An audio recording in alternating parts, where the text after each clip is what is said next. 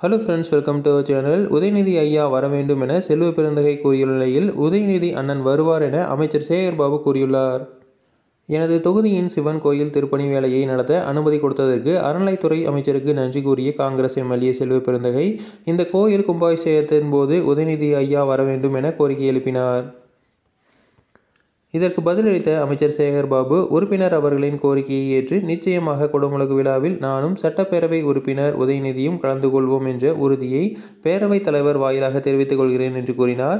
மேலும் அருமை அண்ணன் உதயநிதி ஸ்டாலின் அவர்கள் தனது தொகுதியில் உள்ள பார்த்தசாரதி திருக்கோயில் உட்பட அனைத்து திருக்கோயில் விசேஷங்களிலும் எல்லாம் கலந்து கொண்டிருக்கிறார். ஆகவே எங்களுக்கு இந்து மதம் எதிரான மதம் அல்ல நாங்கள் ஆதரிக்கின்ற அரவணைக்கும் மதம். எனவே குடமுழுக்கு நன்னீரிட்ட விழாவில் எங்களது அண்ணன் உதயநிதி ஸ்டாலின் பங்கேற்பார் என்பதை நம்முடைய உறுப்பினர் அனைவருக்கும் தெரிவித்துக் கொள்கிறேன் என்று கூறியுள்ளார்.